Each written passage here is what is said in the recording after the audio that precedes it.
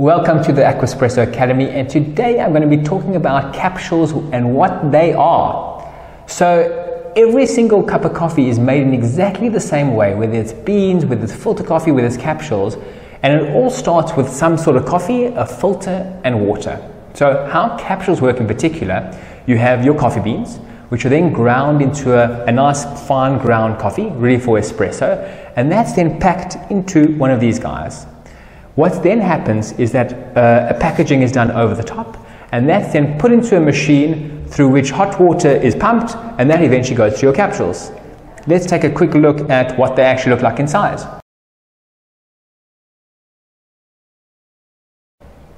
Okay, so here we have a whole array of capsules, different brands, different types of capsules. We have even a milk capsule over here, we have a chocolate capsule over here, and we have a coffee capsule over here. Here's two open capsules. And I'm going to take you into what one capsule looks like inside. But essentially, one thing which, which is often counterintuitive and often what not what people think is that all capsules just have coffee inside. It's not liquid. Even in the milk capsules, it's pure coffee which has been ground and then packaged and sealed in a container. So I'm going to take a coffee capsule over here and I'm going to open it up and I'm going to just pierce it over here. And some coffee capsules have filters or diffusers built inside of them. And with those capsules, you have essentially the, um, a totally different fluid dynamic effect, which really results in an unbelievable crema. So crema often people think is a lot to do with the coffee or the machine, and those two are true. But a big thing has to do with essentially as soon as the water pumps through the coffee, how does the fluid dynamic system create different effects in that? And that's what these diffusers are actually here for.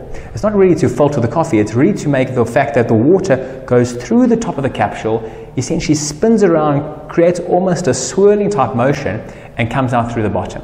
So here we have our diffuser at the top. I'm just going to pop this little diffuser open so you can kind of see underneath. There we are. And here you can see a really, really finely packed coffee. Now, a few things important to remember. This is not instant coffee, and this is not filter coffee.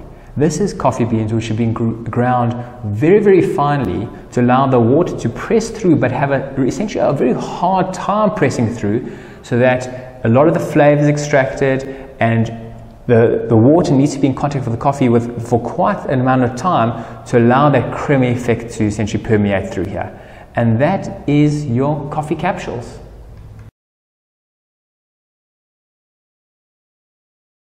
So here we have a milk capsule. Now milk capsules are relatively new in the world of coffee capsules. The traditional way to do milk for your cappuccinos and your lattes is either through a frother or a steamer on the machine, or you have a standalone frothers where you pour the milk into and let those little frothers whiz the milk and heat the milk for you, and then do a mix at the end of the day.